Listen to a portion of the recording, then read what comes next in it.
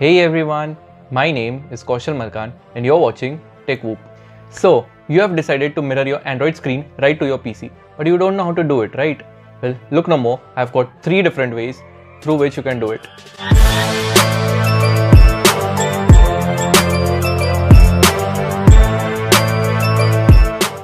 The first one is called Windows Connect and this is by far the easiest way to do it. It is completely free and it is already built in in your PC. So the first thing you need to do is turn on your PC. But before that, make sure that both of your devices are Bluetooth enabled and paired with each other.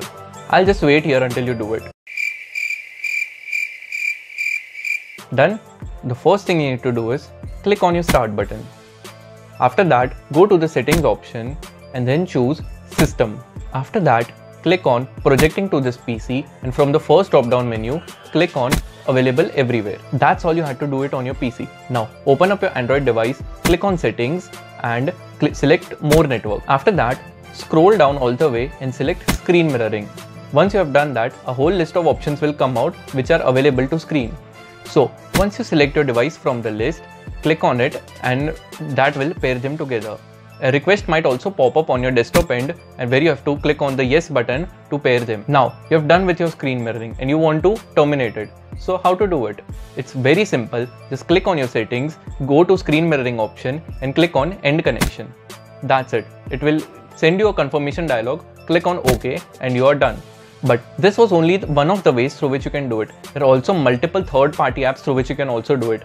But my top 3 picks from them would be Vysor, Allcast and ApowerMirror. I'll link all of them in the description for your ease and you can definitely check them out.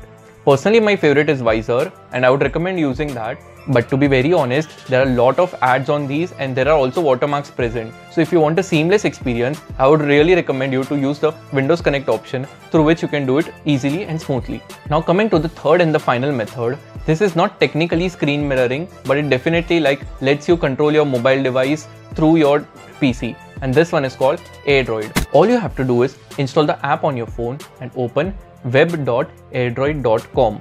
Once you have done that, a QR code will be generated on your screen and you just tap on the QR option on your app and scan the code. And that is it. Your PC and your phone are already connected.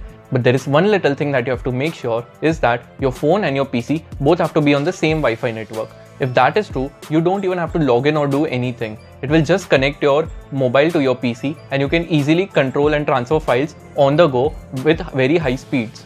So those were three different ways through which you can screen mirror your phone to your PC. I hope it helps you out and if you have any doubts, please let us know in the comments and we'll definitely make a video about it.